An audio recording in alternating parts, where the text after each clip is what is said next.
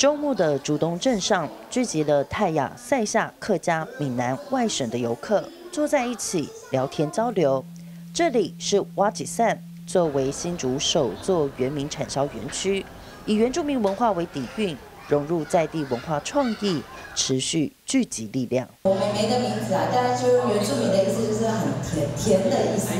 就希望大家来这里可以好好说话，好好聊天，就心里都很甜这样。原住民青年创业家在园区内打造全新空间开幕，不止经营餐饮。更是在地乐舞及团体学习传统、排练放松的重要场域。那舞蹈其实其实最能够表现出原住民的这个文化特色。那因为借由舞蹈音乐，让可以让更多人看到之外，我们也间接的有做到传承这样子，那让更多的孩子能够因为我们的这样的一个呃。团队的一个力量，那也希望让年轻人或者是更更小的孩子们，你能够看到说，哦，原住民的文化其实一直都在。在都会区已经比较很难像在山上大家可以聚在一起的感觉。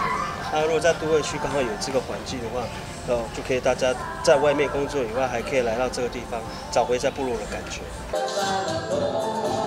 族人离开部落打拼，下班后想再聚首，并不是一件容易的事。位在竹东火车站西侧的挖吉散，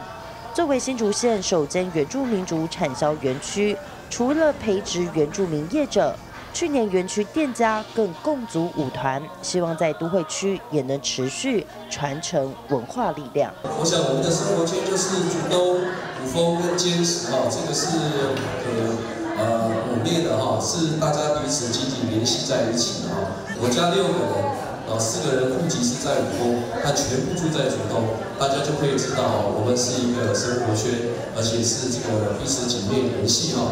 其实族群融合是这三个乡镇非常坚持的，我觉得就是不同族群都可以尊重其他族群的一个传统跟它的文化和语言。新竹两大原乡越来越多族人移居竹东，根据竹东镇户政事务所统计，截至今年三月为止。涉及在竹东的原住民人口数就有四千五百四十六人，再加上尚未涉及的族人，居住人口数就已经突破万人。我们工作一定会全力来打造这第一站文化廊道，会一同把这呃火车站的东站跟西站结合起来。再来竹东镇还有一个文化大合成，呃，把我们竹东镇的音乐文化都带动，呃，竹东镇应该可以向国际来接轨了。瓦吉散作为竹东镇文化廊道的第一站，原客多元族群融合下，不仅在产业上串联，竹东镇也将成立原住民服务中心，提升原住民行政服务。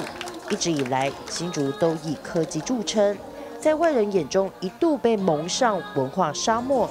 但在城市蓬勃发展之下，竹东作为新竹重要的文化枢纽，保留大自然及土地共存共荣的传统，透过族人的创意，用乐舞串起，打造体验交流经营模式。挖吉散也将成为台湾都会区重要的原民基地。人生新闻姚玛亚巴都由命新竹竹东采访报道。